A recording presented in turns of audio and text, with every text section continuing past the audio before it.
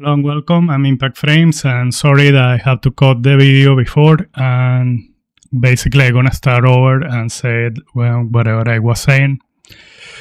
And this is a ComfyUI workflow that I made for working with LCM and AnimateDiff and also to use the IP adapter. So it has the ControlNet, IP adapter, AnimateDiff, and LCM. So it renders a bit quicker than the normal uh, AnimateDiff workflow because you are using LCM as a sampler here and you have um, a bit of different settings to use. But yeah. So basically you load your model here and you can, you can also load a separate VAE here and plug your things uh, from here to there, maybe. And that's how it will work the VAE in there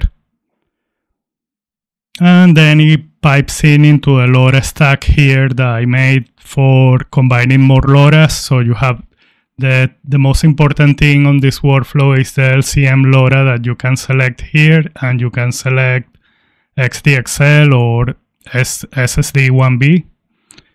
But I am using a 1.5 workflow and that's what I'm using. So there is also the, the prompt at the moment I, I find that it works better when you are using the control net to have it like without any prompting here if you are using an IP adapter.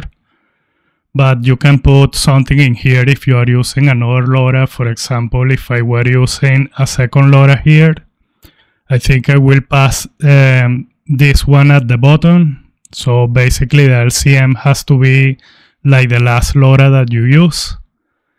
And the or LoRa, you can put something here to trigger the, the trigger word for the LoRas.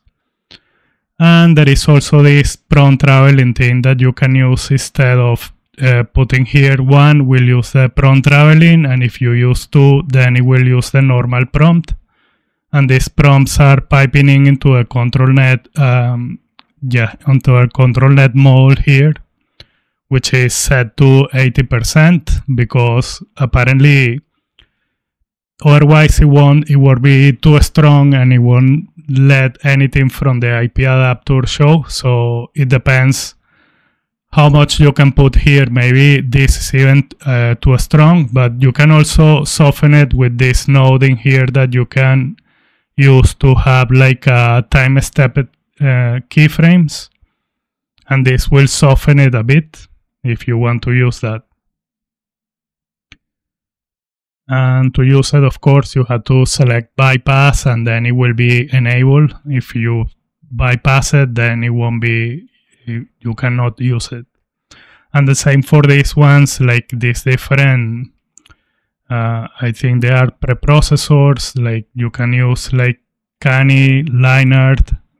This Anime Lineart gives like a, it has like a more more lines into the thing and i think it darkens the result. So that's why i'm using the normal um, i think it's a realistic liner. Yeah that's the one. And then we have the mole uh, piping into AnimateDiff mole here.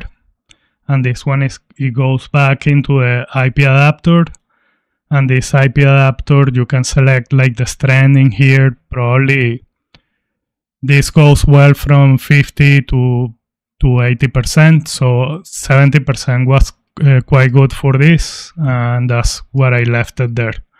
And it's basically the last one before it pipes back into a into a K sampler.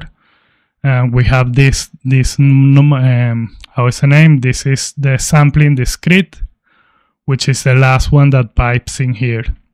And this for you, can use it or uh, you can bypass it if you want. Maybe if you bypass it, it will have a bit more consistency, but it will be a, a little bit slower. That's all.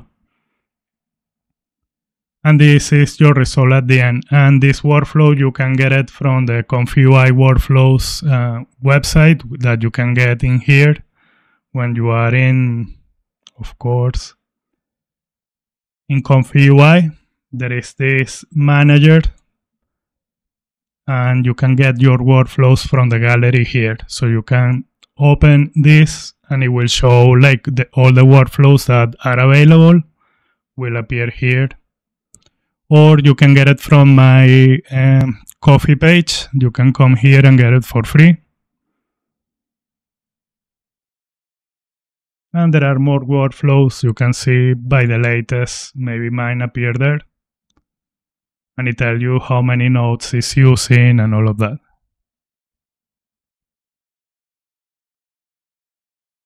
Yeah well so that's all. I hope you like this uh, workflow and thank you very much for watching. Bye bye